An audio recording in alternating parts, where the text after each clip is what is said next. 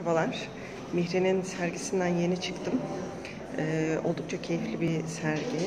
Kesinlikle görmelisiniz derim. Salt Galata'da. Ee, yeri de çok kolay. Karaköy'de. Ee, Mihri Osmanlı döneminin e, son döneminin ressamlarındanmış. Ee, daha sonra Cumhuriyet dönemi.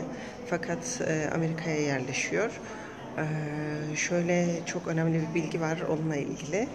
Ee, Osmanlı'da kadınlara yönelik sanat akademisinin kurulmasına sağlamış ve orada uzun yıllar e, eğitmenlik yapmış.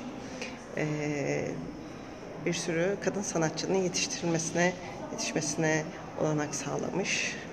Öncü kadınlarımızdan. Bunun yanında New York'a taşındıktan sonra da orada yine kadın çalışmaları üzerinde e, bulunmuş sanatçı kimliğinin yanında. E, dünya çapında aslında tanınan, bilinen bir sanatçı. E, çeşitli e, liderlerin de Atatürk de dahil olmak üzere portresini yapmış. Fakat e, çoğu eseri aslında e, bilinmiyor. Fakat şu var, e, Mihri e, portre konusunda gerçekten çok iyi. Benim hani bir resim bilgimle gördüğüm kadarıyla portre çalışmaları e, vermiş olduğu ifadeler harika. O yönden de derinliğini incelemenizi öneririm. Kesinlikle e, kaçırmayın derim.